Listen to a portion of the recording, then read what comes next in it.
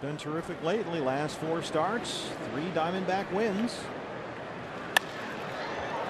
Double play ball here. Gregorius, Hill, Trumbo, and they roll it. And Trevor Cahill erases the one out walk. And he gets the strikeout his first tonight to strand two. The item here in DC. Slowly hit to third, right to Pennington, who fires across, and Cahill with a nice one, two, three, third time he's up there. And there it is. Right to Didi. Aaron Hill. And there's the 6-4-3. And he's got his third strikeout. One down in the fifth. Get that Reno shuttle going. Roark fans at that one. Four strikeouts for Cahill. Two down in the fifth. Second.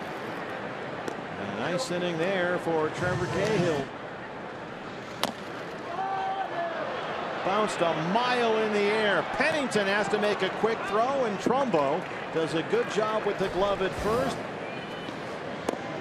And once again, Danny Espinosa, as we told you, strikes out. That's kind of what he does.